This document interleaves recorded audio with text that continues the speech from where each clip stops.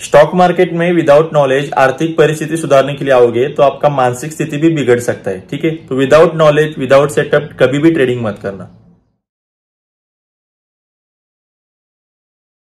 Good morning friends स्वागत है आपका अपने यूट्यूब चैनल में। तो आज डेट है ट्वेंटी नाइन्थ ऑफ़ अगस्त देखा जाए तो ट्यूसडे के दिन फिन निफ्टी में ट्रेडिंग करना चाहिए। मतलब ऐसा कुछ रूल नहीं है कि ट्रेडिंग करना चाहिए, लेकिन मैं ट्रेडिंग करता था फिन निफ्टी में ट्यूसडे के दिन। एक्सपायरी भी है।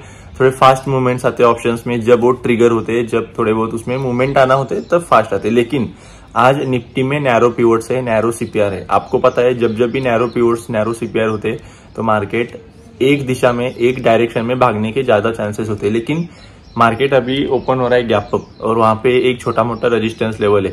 रेजिस्टेंस लेवल मतलब ट्रेन लाइन है। आपने देखा होगा मैं ऐसे ट्रेन लाइन ड्रॉ करता हूँ मतलब ट्रेन लाइन ऐसे ही होती है। मैं चार्ट पे आपको दिखाऊँगा कहाँ पे मैं बात कर रहा हूँ। तो एक बार अगर वो लेवल निकाल दिया तो मैं बाय साइड के लिए जाऊँगा। नहीं तो फिर से मार्केट रेंज में भी आएगा। 19,300 वालों को भी भगाएगा सबको भी भगाएगा। लेकिन दोनों साइड के प्रेडिक्शन है रिएक्शन देखते हैं मार्केट क्या देता है उसके हिसाब से मेरा ट्रेड रहेगा ठीक है? रिस्क मैनेजमेंट आपको पता है बीस पच्चीस हज़ार रुपए का रिस्क लेके मैं ट्रेडिंग करूँगा। हज़ार दो हज़ार क्वांटिटी जितना स्टॉप लॉस दूर होगा, उतना क्वांटिटीज कम जितना स्टॉप लॉस नियर बाय होगा, उतना क्वांटिटी ज़्यादा, ठीक है? इससे ज़्यादा रिस्क मैनेजमेंट में मैं ज़्यादा फोकस नहीं देता, मेरा दिमाग में इतना ही रहता है। कि आज पच्चीस हज़ार रुपये चला गया तो मुझे बुरा नहीं लगेगा। ठीक है, ये माइंड सेट लेके मैं मार्केट में घुसता हूँ। ठीक है तो अभी देखते हैं चार पाँच मिनट बाकी है मार्केट अभी ओपन हो गए हो। गया मतलब अपना फ्री मार्केट अभी ओपन हो गया मार्केट चालू होने के लिए अभी चार पाँच मिनट बाकी है। ठीक है तो मैं अभी आपको पूरा डिटेल मेरा जो ट्रेड है, अभी चार्ट पे आपको आपके साथ डिस्कस करता हूँ। ठीक है चैनल पे नए हो तो वीडियो थोड़ा लास्ट तक ज़रूर देखना। चलो। ओके तो ये कुछ मेरा आज का एनालिसिस है निफ्टी का। मैंने ये तीन चार लेवल ड्रॉ करके रखे, आपको थोड़ा उसका लेवल्स कहाँ पे वो देखना है तो आप देख सकते हो, ठीक है? ये लेवल्स आपके भी चार्ट पे ड्रॉ करो, आपको समझ में आएगा लेवल्स कहाँ से है तो देखते हैं अभी मार्केट कितना, एक एक हाँ एक दो मिनट बचा हुआ है। मैं बाद में आपके साथ डिस्कस करता हूँ कि मेरा प्लान क्या रहेगा। एक देखो, मेरा प्लान हमेशा फ़र्स्ट एक दो ट्रेड्स के बेसिस पे होता है कि वो कहाँ पे खुल रही है प्रीवियस डे के हाइस ब्रेक कर रही है या फिर फिर से जोन में आ रहा है सपोर्ट पे है रेजिस्टेंस पे तो एक दिन मतलब दिन के जो फ़र्स्ट दो कैंडल्स होते हैं ना, एक दो कैंडल्स उधर ही मुझे समझ में आता है कि मतलब समझ में आता है मतलब दस में से दस बार सही नहीं आता हूँ मैं, लेकिन थोड़ा बहुत आइडिया आ जाता है कि ये इसे जाना कहाँ पे, ठीक है? तो मैं हमेशा आपको यही रिकमेंड करूँगा, दिन का जो फ़र्स्ट कैंडल होता है ना, वो हमेशा रीड करना सीखो, वो आपको बहुत हेल्प करेगा ओके तो आप देख सकते हो मॉर्निंग में first candle big red bar है, इसका मीनिंग है मार्केट में इनिशियल सेलर्स एंटर हो गए, ठीक है? तो अभी थोड़ा मैं फॉलो थ्रू के लिए वेट करता हूँ फॉलो थ्रू मिला तो मैं पुट सेट जाऊँगा। नहीं तो फ़र्स्ट कैंडल का अगर 50 परसेंट निकाल देगा तो उल्टा प्लान करूँगा। अभी यहाँ पे ये जोन में कुछ प्लानिंग नहीं है, क्योंकि अगर फ़र्स्ट कैंडल का लो ब्रेक करता है ना तो नीचे ज़्यादा जगह नहीं है, क्योंकि थोड़ा रुक जाओ। यहाँ पे अपना कहाँ गया? सेंट्रल पिवोट रेंज ठीक है? यहाँ पे देखो, यहाँ से यहाँ कितना आएगा? एक बीस पॉइंट से आएगा, इतना मज़ा नहीं आएगा। तो इससे अच्छा मैं थोड़ा वेट करता हूँ।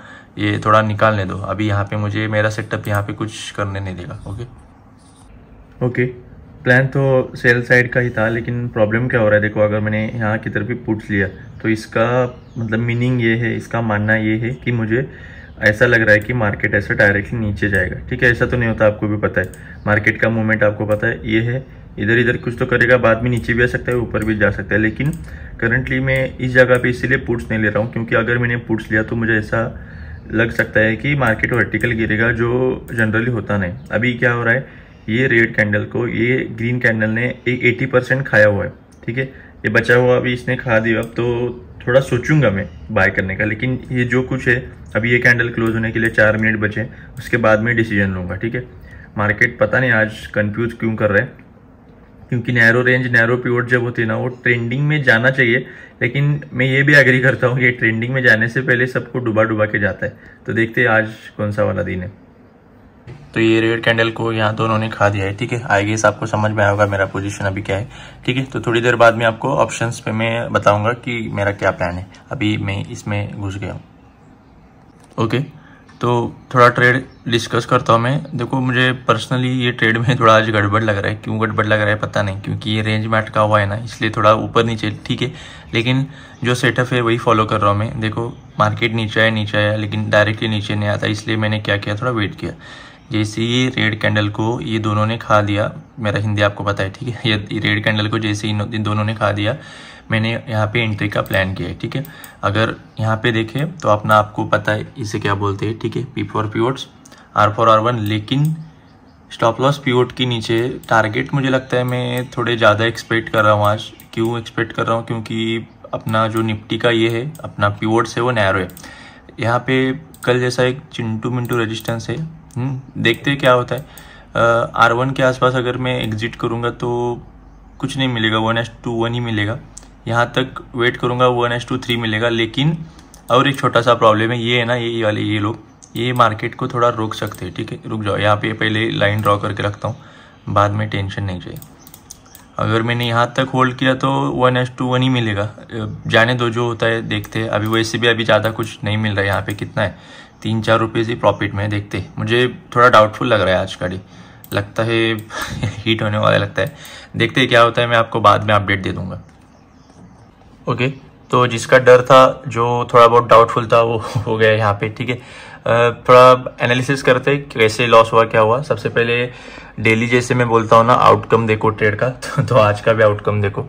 तो ये कुछ आउटकम है, लेकिन ये सब कुछ लिमिट में है, ठीक है? ऐसा नहीं कि लॉस हुआ है तो पिछले दिन का प्रॉफिट चला गया, एक दो दिन का प्रॉफिट चला गया, ऐसा नहीं है। जो मैं प्लान करके आया था मॉर्निंग में, वो प्लान के हिसाब से सब कुछ सही जा रहा है।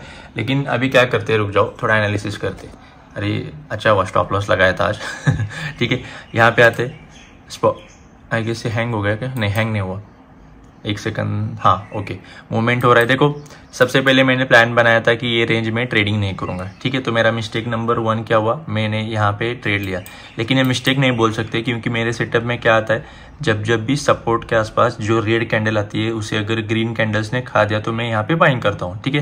तो जैसे मैंने बाइंग किया सब कुछ ओके था आ, सब कुछ ओके था मतलब इतना भी ओके नहीं था। एक, एक कैंडल मेरे फेवर में गई थी दो चार रुपये ऊपर जा रहा था कैंडल दो चार रुपए पॉइंट्स मिल रहे थे, लेकिन आपको पता है मैं वन एस टू वन भी नहीं लेता one point one point five नहीं तो फिर directly one is to two के प्लानिंग करता हूँ। तो ये सब कुछ ठीक है ओके तो मिस्टेक नंबर वन रेंज में ट्रेडिंग किया सेकंड सीपीआर देखो क्या बोल रहा है अपना सीपीआर यहाँ पे पीवर्ड्स यहाँ पे राइट प्रीवियस डे हाई और आर वन यहाँ पे। तो ज़्यादातर करके जब मार्केट ट्रेंडिंग में होता है तो मार्केट को ये लेवल निकालने देने चाहिए हमें। हम्म मतलब प्रीवियस डे हाई के ऊपर आर वन के ऊपर हमेशा बाइंग करना चाहिए, लेकिन ये थोड़ा मिस्टेक हुआ मैं और दस पंद्रह रुपीज़ के लिए वेट करता, ये लेवल निकल जाता तो हाई चांसेस थे कि मेरा ट्रेड वर्क भी होता। हम्म तो अभी यहाँ पे मैं कुछ ट्रेड नहीं करूँगा। क्यों? क्योंकि मैंने जो प्लान किया था, उसके हिसाब से जो कुछ होना था, हो गया। अभी वैसे देखा जाए तो एक मिनट में आपके साथ डिटेल में डिस्कस करता हूँ, लेकिन ये थोड़ा ध्यान में रखो, जब जब मार्केट पीवर्ड्स ट्रेंडिंग में होते हैं तो आर वन के ऊपर प्रीवियस डे के ऊपर प्रीवियस डे लो के नीचे एस वन के नीचे ट्रेड लो, ये ट्रेड मेरा सही भी था, गलत भी था, सही था प्राइस एक्शन के हिसाब से, गलत था पीओट के हिसाब से, ठीक है? तो इसमें ज़्यादा अभी डिस्कस नहीं करेंगे। मैं अभी आपको थोड़ा रिस्क मैनेजमेंट का बताता हूँ मेरा, क्या होगा। ओके तो आज के लिए इतना ही। इससे ज़्यादा मैं अभी ट्रेडिंग नहीं करूँगा, क्योंकि ट्रेडिंग करूँगा तो ओवर ट्रेडिंग में चला जा सकता है, लेकिन मैंने जो रूल फॉलो किया था ट्वेंटी ट्वेंटी फाइव थाउज़ेंड का, उसके हिसाब से ये सही है। ट्रेड में दो गलतियाँ हुई, मैंने आपके साथ डिस्कस किया। मैं थोड़ा रेंज में चला गया हीरो बनने के लिए, लेकिन हीरो बनने के पीछे मेरा एक रीजन भी था, जो मैं हमेशा सेटअप फॉलो करता हूँ। जब जब एक रेड कैंडल को दो ग्रीन कैंडल्स खत्म कर देना तो वहाँ पे थोड़े बुलिस मार्केट के साइंस होते हैं, लेकिन थोड़ा आज मार्केट भी साइडवेज था। या मार्केट ब्रेक नहीं कर रहा है। प्रीवियस डे हाई प्रीवियस अपना जो आर वन होता है, वो ब्रेक नहीं कर रहा है। तो ऐसे टाइम कुछ नहीं कर सकते। मैं अभी इससे फाइट नहीं कर सकता। देखा जाए तो मेरे पास अभी भी थर्टी फोर्टी थाउज़ेंड का रिस्क पेंडिंग है। क्यों? लास्ट फ्राइडे का एक बीस हज़ार रुपये पेंडिंग है। आने वाले फ्राइडे का एक बीस हज़ार रुपये का रिस्क पेंडिंग है। लेकिन मुझे ये मार्केट में वो पैसा नहीं लगाना है। क्यों? क्योंकि मार्केट का मूवमेंट कम है। अगर मार्केट आउट ऑफ़ रेंज जा रहा है तो मैं वहाँ पे सोच सकता था फ्राइडे का रिस्क ऐड करने का। लेकिन ऐसे मार्केट में अगर ट्रेडिंग करूँगा तो हाई चांसेस है बीस का चालीस हो सकता है। निगेटिव की बात कर रहा हूँ मैं पॉजिटिव की नहीं। तो आज के लिए इतना ही। देखो, दुनिया का जो सबसे टॉप का ट्रेडर है, उसका एक्यूरेसी आपको पता है, होगा 58 परसेंट है। तो उसके सामने हम कुछ भी नहीं। ये पिछले एक दो महीने में मार्केट बहुत इजी था। हर एक बॉल पे फुल टॉस मिल रहे थे। इसलिए एक्यूरेसी थोड़ा बड़ा था। लेकिन ये यॉर्कर भी आने चाहिए। लेकिन अगर ऐसे यॉर्कर्स नहीं आएँगे तो हम क्या करते? हैं लॉर्ड साइज़ बढ़ाते हैं हीरो बनते। हैं तो ये नहीं होना चाहिए। लॉसेस भी हमें थोड़ा बहुत कुछ सिखाते। हैं आज मुझे क्या सीखना मिला? जब पीवर्ड्स ट्रेंडिंग में होते हैं, तब तक आर वन और एस वन के बीच में हीरो मत बनो, ठीक है? ये मैं नेक्स्ट टाइम फॉलो करूँगा। जब नैरो पीवर्ड्स आएँगे ना, मैं आपको पक्का ये प्रैक्टिकल करके दिखाऊँगा फिर से। सेम सेटअप रहेगा, सब कुछ सेम रहेगा, लेकिन नेक्स्ट टाइम मेरा एंट्री में थोड़ा चेंजेस रहेंगे, ठीक है? तो नेक्स्ट डे जब नैरो प्योर्स होंगे ना, तब सच में मज़ा आएगा। देखते ही कब आते हैं नैरो प्योर्स वो हमेशा नहीं आते, आपको भी पता है। तो आज के लिए इतना ही। अगर चैनल पे नए हो चैनल पे नए हो तो एक वीडियो देख के कुछ मतलब अलग अलग स्ट्रेटेजी मेरी ट्राई मत करना। मैं प्योर्ड्स और प्राइस सेक्शन फॉलो करता हूँ। थोड़े पिछले 10-15 दिन के व्लॉग्स देखो। पसंद आए तो चैनल को सब्सक्राइब करो, नहीं तो अनसब्सक्राइब करो, क्योंकि अगर मैं जो आपको प्रोवाइड कर रहा हूँ, वो आपको यूजफुल नहीं है। कुछ भी समझ नहीं आ रहा है। ऐसे ऊपर से चला जा रहा है तो मुझे फॉलो मत करो, ठीक है? बहुत सारे मेंबर से, बहुत सारे ट्रेडर से आप वहाँ पे जा सकते हो। मेरा थोड़ा पढ़ाने का तरीका अलग है। स्टार्टिंग में आपको लॉसेस हो सकते हैं। क्यों? क्योंकि ये पूरा का पूरा साइकोलॉजी बेस्ड है। यहाँ पे मेथड कुछ नहीं है, जो कुछ है साइकोलॉजी है तो थोड़ा आपका आगे पीछे हो सकता है। तो इसीलिए 10-15 व्लॉग्स देखकर उसके बाद डिसाइड करो क्या करना है, ठीक है? तो आज के लिए इतना ही। कल देखेंगे, कल मार्केट आउट ऑफ़ रेंज गया तो फ्राइडे का जो ट्वेंटी थाउज़ेंड है ना, वो कल लगाएँगे, ठीक है? तो आज के लिए इतना ही। कल मिलेंगे बाय